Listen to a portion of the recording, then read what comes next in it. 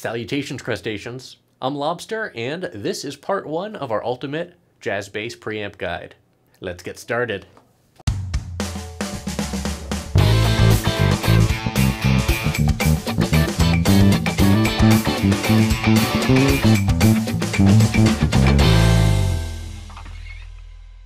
Welcome to part one of our ultimate jazz bass preamp guide.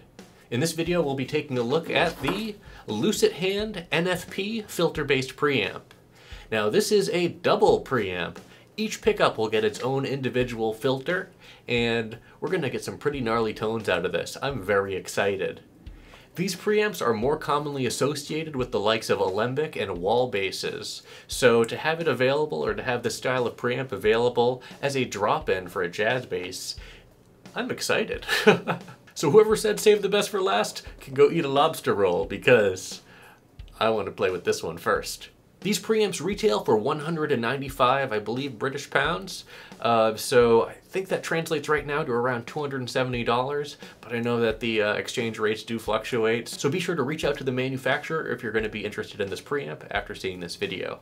Lusithand Devices is a small shop out of the UK, and they make some really awesome stuff. I'm happy I reached out to them, and they were able to provide this preamp for the video. So thank you so much for providing this preamp at no cost. I appreciate it for supporting the channel, and uh, I hope I do it justice.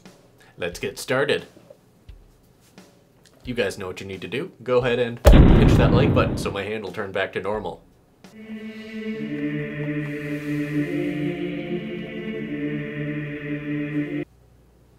Thanks. So first up, the installation. Let's head over to my workbench. Okay, so we are here installing the NFP preamp from Lusithand Devices. I really like how they used a weathered control plate. I think that's a really neat touch to kind of differentiate them, but uh, yeah, I dig it. So let's go ahead and uh, remove the stock preamp from Sire.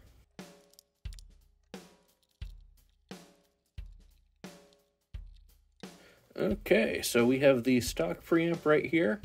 There's a bunch of different wires doing a bunch of different things. Uh, the first thing we're going to do is identify what's what. These four wires here are the pickup wires. And these appear to be battery wires. And our output. And this, I believe, is another battery wire. Okay. This all makes sense. Let's go ahead and start taking things apart. First, what we're going to do is desolder our four pickup connectors right here. We have our soldering iron already heated up.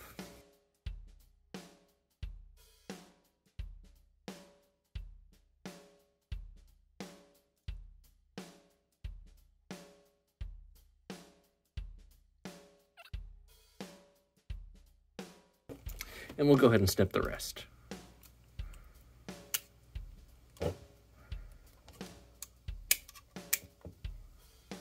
Our stock preamp has been removed. Let's go ahead and uh, neaten things up a little bit.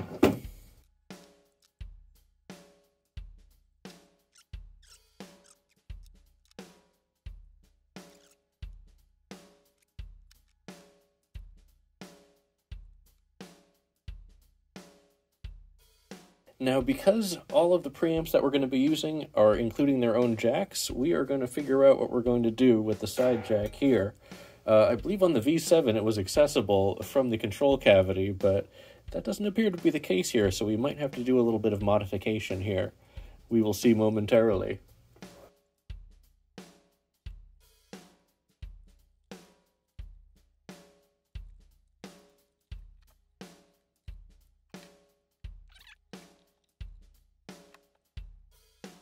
Next up, uh, I'm actually going to go ahead and expand uh, the hole that goes into the jack cavity here.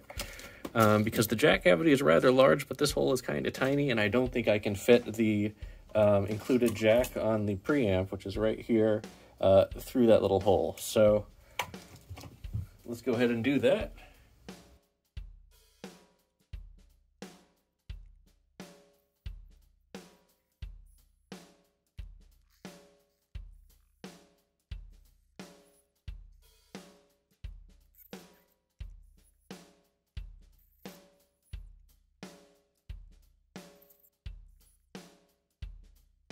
There we go.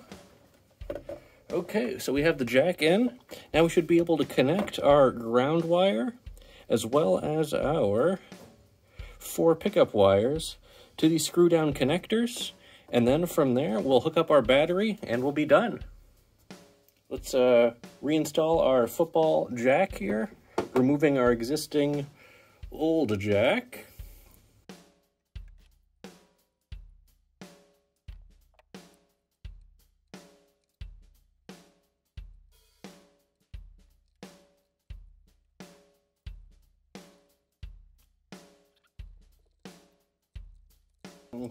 Jack is installed. Let's go ahead and install our pickup connectors.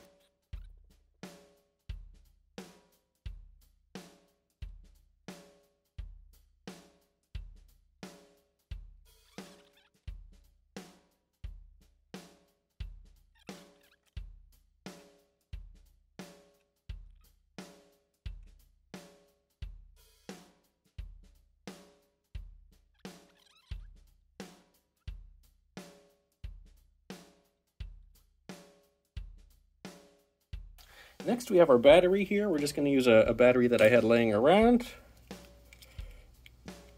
We can pop this in.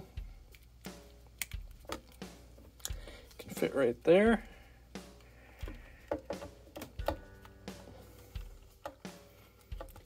And here we go. Control plate is in. The holes mostly line up. Let's see if we could get some screws in here.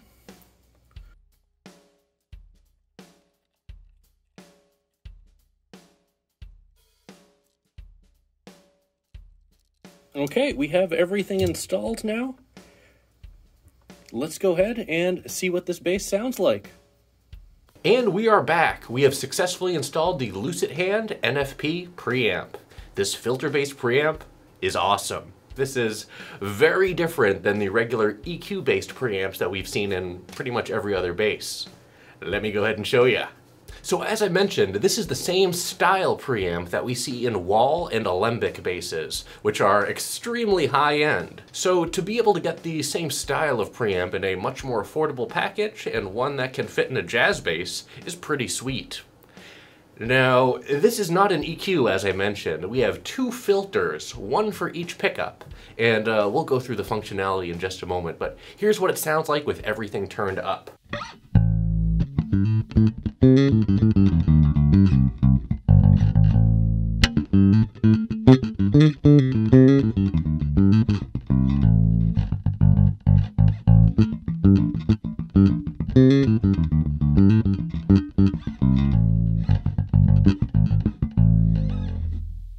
Very nice. I mean, it sounds like a jazz bass. That's because we haven't messed with any of these filters yet. So each knob controls the filter for each individual pickup. The front one controls the neck pickup and the back one controls the bridge pickup. And both of these are push-pull for a high gain mode as well. So let's check this out. Uh, how should we do this? Let's start out with the neck pickup soloed first. There is going to be a little bit of single coil hum as these are still single coil pickups. These are not hum canceling, but I'll show you what happens when we start playing with the filter and have the pickup soloed. So again, here's the filter all the way up, essentially like the tone all the way open. Here's what that sounds like with just the neck pickup.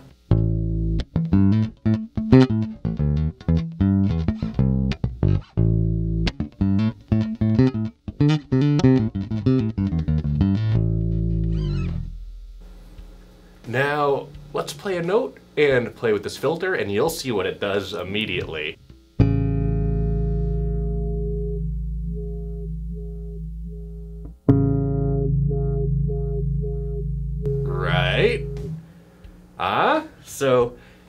Do that a little bit slower and go through the different tones that we get just with the turn of one knob.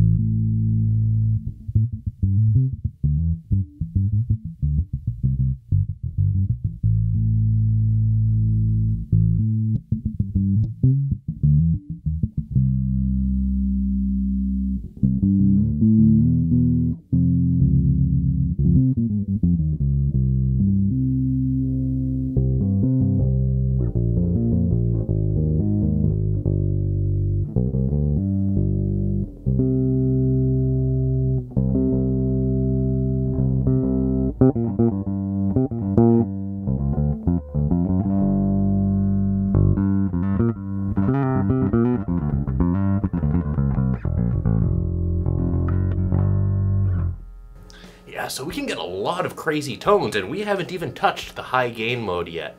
Let's go ahead and pull the knob out. We hear a little bit of a noise bump because the gain is increased. Let's turn the knob back all the way up, and here's what this sounds like. This is just the neck pickup.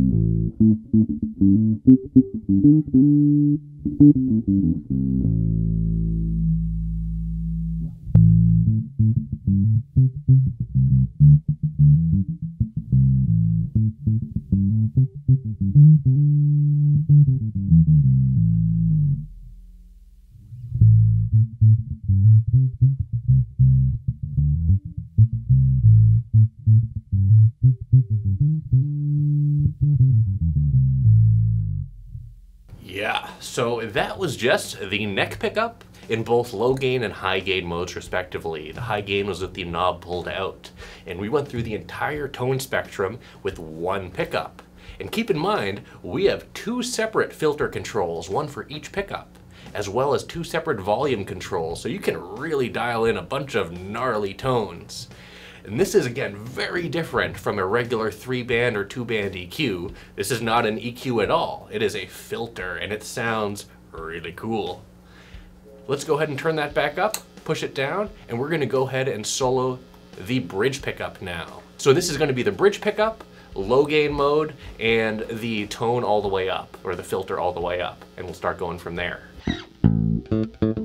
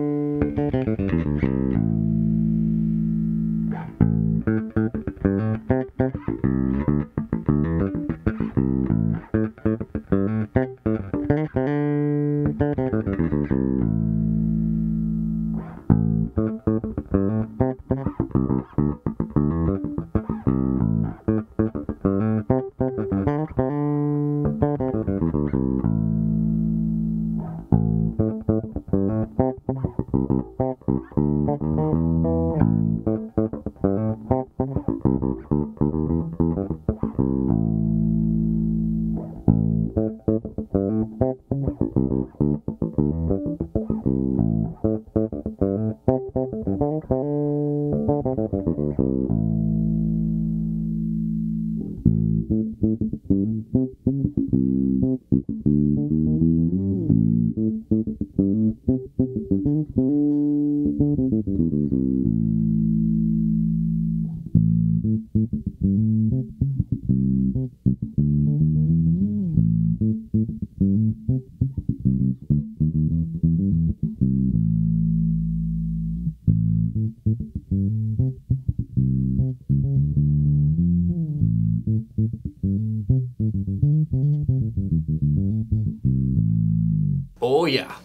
Go ahead and pull out the filter knob for the bridge pickup, turn it back up, and check out high gain mode.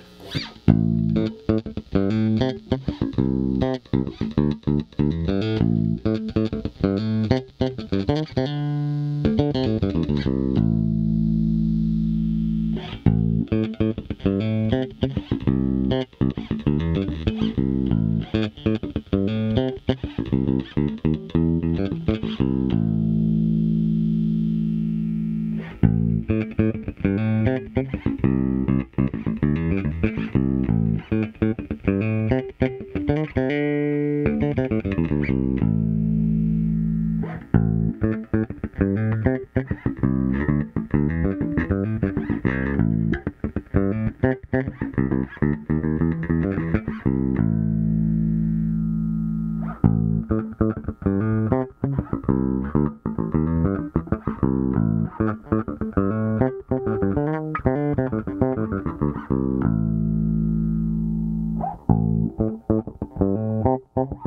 Mm-hmm.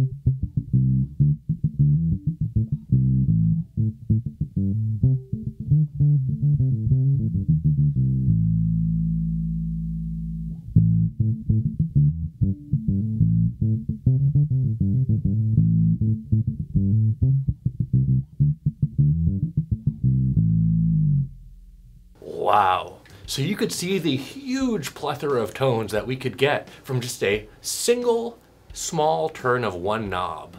That's right, we were looking at these pickups individually and were able to get that wide of a tone variety from one pickup with one filter. Now let's put both pickups at full and see what sort of different tones we can get by messing with these knobs. So again, here's everything at 100%.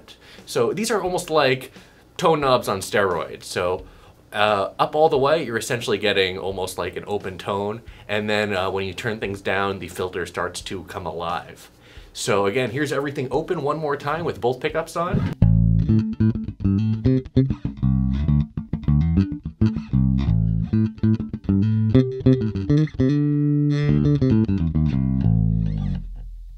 Now, let's have some fun.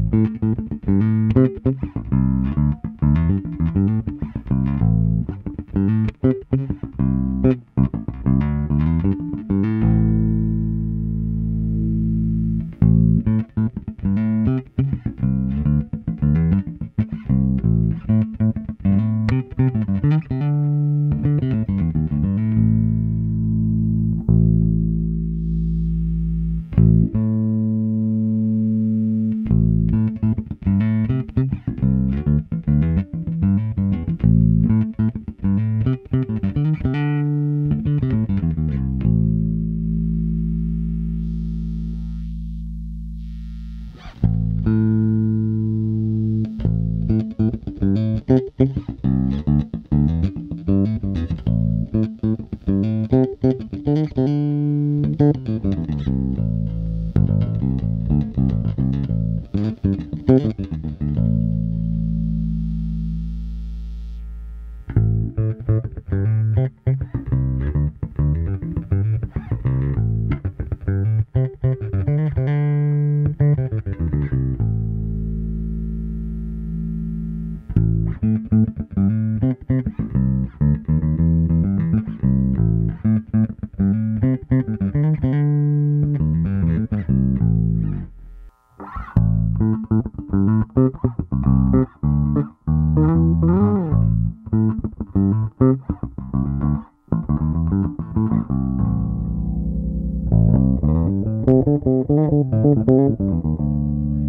Thank you.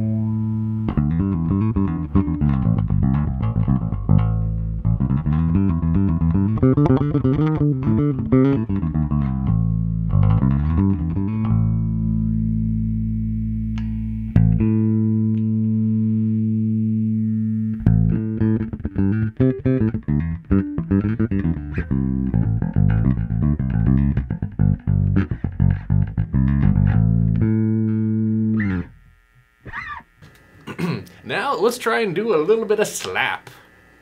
Let's play with this a little bit more.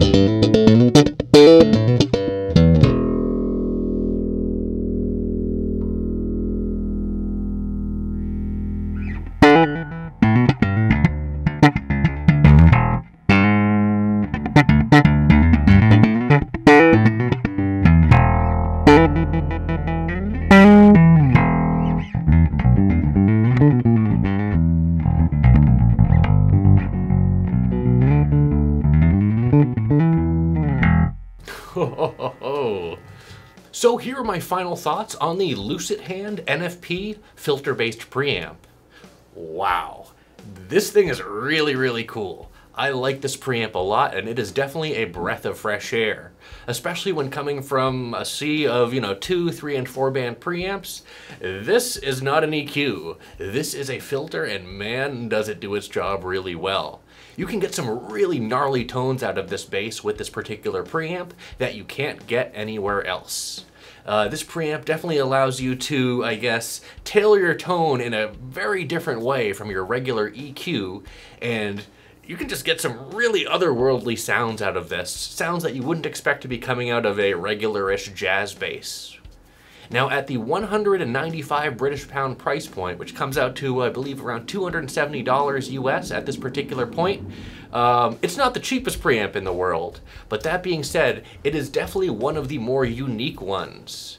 Again, this type of preamp is usually found in an alembic or a Wal bass, both of which are generally over $10,000 US. So to be able to get that type of tonal flexibility, which is again completely different from what you get with a standard EQ, in a drop-in preamp is really awesome.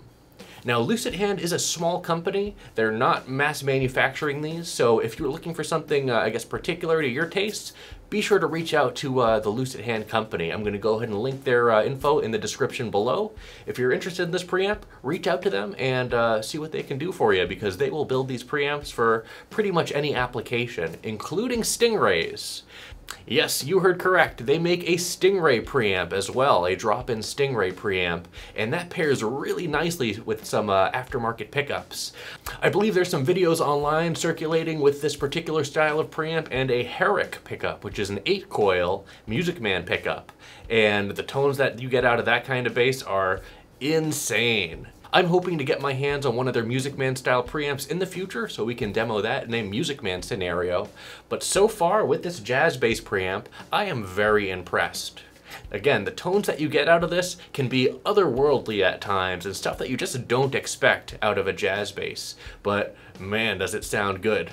Well, that is it for the video demo on the Lusithand Jazz Bass Preamp. This is a double filter preamp, one filter for each pickup, and man, you can get some crazy tones out of this. Let me know what you guys think in the comments down below. Well, that's it for this video. Thanks for watching, everyone. Be sure to like, subscribe, join our Discord, and leave a comment down below. And let me know what you think about the Lusithand NFP preamp in our Sire V3 Jazz Bass. And as always, until we groove again,